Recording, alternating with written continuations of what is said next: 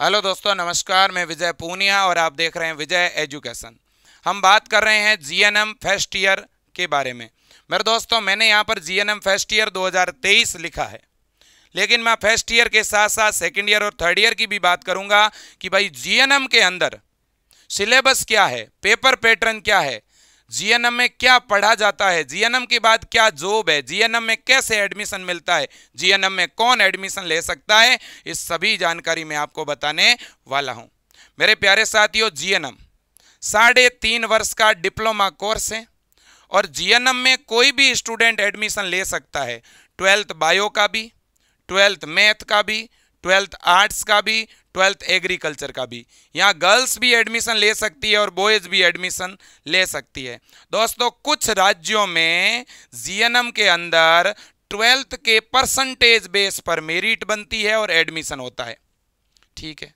और कुछ ऐसे भी स्टेट हैं जहाँ जीएनएम में एडमिशन के लिए एक प्रवेश परीक्षा लगती है और उस एंट्रेंस एग्ज़ाम को दे करके बच्चों का आगे गवर्नमेंट कॉलेज में एडमिशन होता है। जीएनएम कोर्स में बायो के स्टूडेंट को प्राथमिकता दी जाती है, प्रायोरिटी दी जाती है। लेकिन आर्ट्स का बच्चा भी जीएनएम कर सकता है। ठीक है। जीएनएम में एडमिशन के लिए आपकी न्यूनतम एज सत्रह वर्ष होनी चाहिए। अगर मैं 2023 की बात करूँ, अगर आपको 2023 में एडमिशन लेना है तो आपकी जन्म तिथि कम से कम 2006 होनी चाहिए। 2007 या उससे ऊपर जन्म तिथि वाले इस सेशन में एडमिशन नहीं ले सकते। ठीक है। अब बच्चों, जीएनएम में तीन साल तक पढ़ाई होती है और छः महीने की इंटर्नशिप होती है। अब सर, जीएनएम में क्या पढ़ाया जाता है, इसकी भी बात करूँगा। और बहुत सारे ऐसे जीएनएम कॉलेज हैं, जहाँ बच्चों के एडमिशन तो हो जाते हैं, लेकिन क्लास नहीं लगती है, सिलेबस नहीं होता है, और इसलिए बच्चों के फ़र्स्ट ईयर में बेक भी लग जाती है कई बार, सप्लीमेंट्री आ जाती है, और कई बार बच्चों का एक साल खराब हो जाता है। मेरे पास ऐसे बहुत सारे बच्चों के कॉल आते हैं और बच्चे कहते हैं कि, सर, आप विजय एजुकेशन नर्सिंग का इतना बड़ा प्लेटफॉर्म है तो आप जीएनएम के लिए भी क्लासे लगाइए। तो बच्चों, देखिए, अगर आप सब बच्चे कहते हैं, भले यूपी, एमपी, बिहार, हरियाणा, सभी राज्यों में जीएनएम का पाठ्यक्रम एक जैसा ही होता है, सिलेबस अलग अलग नहीं होता। अगर आप बच्चे चाहते हैं कि मैं आपके लिए जीएनएम का बेच शुरू करूँ, मैं विजय एजुकेशन ऐप के ऊपर जीएनएम की फैकल्टी आपको पढ़ाए एक अच्छी टीम आपको पढ़ाएँ। अगर आपकी इच्छा है ऑनलाइन पढ़ने की फ़र्स्ट ईयर की पढ़ाई करने की, सेकंड ईयर की पढ़ाई करने की तो इस वीडियो के नीचे डिस्क्रिप्शन के अंदर और कमेंट बॉक्स में मैं एक गूगल फॉर्म डाल दूँगा। बच्चों, आप उस गूगल फॉर्म के ऊपर टिक करना गूगल फॉर्म में अपना नंबर डालना। अगर आप ऑनलाइन कोर्स लेना चाहते हैं तो वहाँ पर अपने बारे में थोड़ी जानकारी ज़रूर लिखना ताकि मुझे पता चलेगा कि कुल कितने बच्चे हैं जो कोर्स लेना चाहते हैं। ठीक है? अब देखिए बच्चों जीएनएम का सिलेबस क्या है? मेरे प्यारे साथियों, यह है जीएनएम फ़र्स्ट ईयर का सिलेबस। जीएनएम फ़र्स्ट ईयर के अंदर बच्चों, आपके एनाटमी है और माइक्रोबायोलॉजी है। अब एनाटमी और माइक्रोबायोलॉजी इन दोनों का एक साथ बायोलॉजिकल साइंस के नाम से पेपर लगता है। और ये पेपर आपका दोस्तों 90 प्लस 30 यानी कितने नंबर का लगता है? 120 नंबर का। ओके तो इसका मतलब एनाटॉमी का पोर्शन 120 नंबर का है। जीएनएम में सबसे बड़ा पोर्शन एनाटॉमी का है। ऐसा कहते हैं कि जीएनएम में जिस बच्चे ने एनाटॉमी और फंडामेंटल को पार कर लिया, वो बच्चा जीएनएम पार कर लेता है। इसलिए ये दो सब्जेक्ट मेरे दोस्तों बहुत ही बड़े हैं, बहुत ही महत्वपूर्ण है फ़र्स्ट ईयर में। ठीक है, मैं फ़र्स्ट ईयर की बात कर रहा हूँ जीएनएम फ़र्स्ट ईयर की। अब देखिए, इसके बाद में है सेकेंड ईयर सेकेंड ईयर में सॉरी इसके बाद है सेकेंड पेपर सेकेंड पेपर को कहते हैं बिहेवियर साइंस इसमें आता है आपका साइकोलॉजी और सोशियोलॉजी ठीक है? इसके बाद तीसरा जो आपका जीएनएम का पेपर है फ़र्स्ट ईयर का, उसे बोलते हैं फंडामेंटल फंडामेंटल के इस पेपर में फंडामेंटल ऑफ़ नर्सिंग इसके अलावा फेस्ट एड और इसके अलावा पर्सनल हाइजीन इन तीनों को मिला करके एक पेपर है, लेकिन इस पेपर में फंडामेंटल के क्वेश्चन ज़्यादा आते हैं. ठीक है? लगभग 175 नंबर के, ठीक है? इसके बाद में चौथा जो आपका पेपर लगता है, वो कम्युनिटी हेल्थ नर्सिंग के नाम से लगता है सी एच एन ठीक है? और इस कम्युनिटी के अंदर बच्चों न्यूट्रिशन भी शामिल है, ठीक है? और इसके अंदर मेरे दोस्तों जो है कम्युनिटी से फ़र्स्ट के नाम से जानते हैं सेकंड आपकी सेकंड ईयर के अंदर है, ठीक है? और इसमें कम्युनिटी का पोर्शन जो है लगभग 80 नंबर का है। और बाकी जो है 20 20 करके, और मेरे दोस्तों करीब करीब आप मान के चलिएगा कि ये भी 100 और 20 नंबर का पूरा आपका पेपर रहता है। तो टोटल कितने पेपर हो गए? देखो, एक कम्युनिटी का हो गया, एक फंडामेंटल का हो गया, एक साइको सोशियो का हो गया, और एक एनाफिजियो का हो गया। तो ये चार मेन पेपर है आपके। पहला एनाफिजियो एनाफिजियो के साथ थोड़ा सा भाग है माइक्रोबायो का।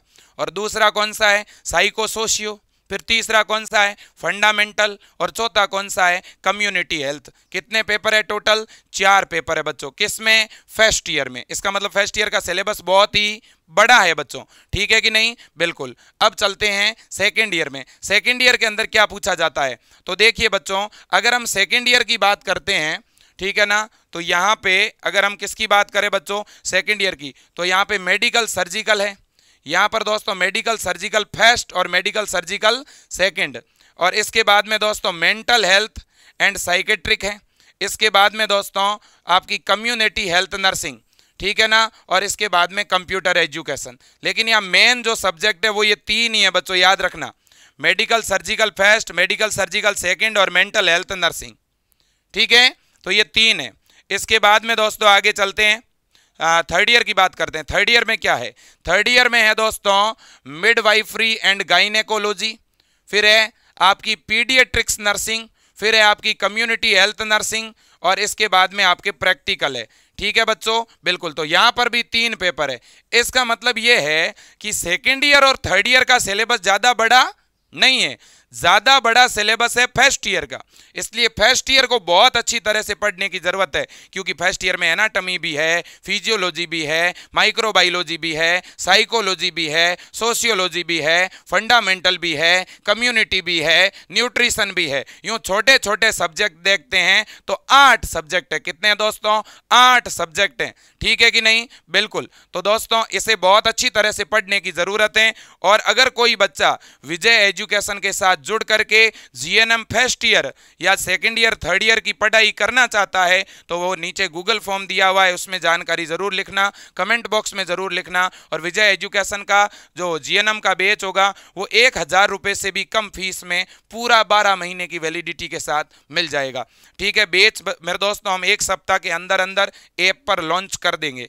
लेकिन कोई बच्चा अभी से तैयारी शुरू करना चाहता है तो बीएससी नर्सिंग फ़र्स्ट ईयर के बेच में जुड़ सकता है, और कुछ दिनों के के बाद अपना कोर्स जीएनएम फ़र्स्ट ईयर में चेंज करवा सकता है। बच्चों, पढ़ाने वाली जो टीम है विजय एजुकेशन ऐप में, वो नौ से सेलेक्टेड एम्स की फैकल्टी पढ़ा रही है। बहुत अनुभवी टीम है और मेरे दोस्तों, जिस जो है जीएनएम के लिए आप एक एक लाख रुपए फ़र्स्ट ईयर की फ़ीस देते हैं। वही कोर्स आपको यहाँ एक हज़ार रुपये से भी कम फ़ीस में सारे सब्जेक्ट विद नोट्स और live class, with recorded class, सारा कंटेंट मेरे दोस्तों आपको मिलेगा। वास्तव में बहुत बेहतरीन पढ़ना चाहते हो तो आप विजय एजुकेशन के ऐप को ज़रूर डाउनलोड करिए। ऐप की लिंक नीचे दी गई है दोस्तों और साथ ही साथ अगर किसी को कोर्स लेना है तो ये जो नंबर है, इस नंबर पर आप व्हाट्सअप भी कर सकते हैं, अपनी जानकारी भेज सकते हैं। Nine six seven two seven two one two two nine एक बात और कहना चाहूँगा बच्चों, आप अगर जीएनएम कर रहे हैं तो बहुत सारे बच्चों के दिमाग में ये आता है कि यार जीएनएम सही है भी या नहीं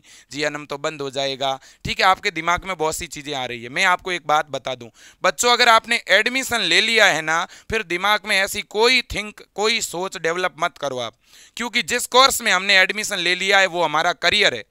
ठीक है ना? अब आप इस सेक्टर में ही अपना करियर देखेंगे, सीधी सी बात है। जीएनएम बेस्ट है, कोई दिक्कत नहीं, कोई दो राय नहीं है। आप आराम से जीएनएम करिए बच्चों। जीएनएम पूरी होते ही एक 18 महीने का डिप्लोमा होता है पोस्ट बेसिक बीएससी नर्सिंग के नाम से। वो डिप्लोमा आप कहीं पर जॉब करते हुए भी कर सकते हो, और वो डिप्लोमा होते ही आप बीएससी नर्सिंग के बराबर हो जाओगे।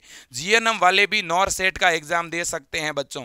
ठीक है ना? जीएनएम करने के बाद जैसे ही आपके पास में एक साल का अनुभव आ जाएगा। आप आराम से नॉर सेट दोगे। एक परसेंटेज टेंशन नहीं लेना है। बढ़िया बढ़िया पढ़ाई करिएगा, खुश रहिएगा और आगे बढ़िएगा। और जीएनएम की पढ़ाई हिंदी और इंग्लिश दोनों मीडियम में दोस्तों होती है, आपको पता ही है।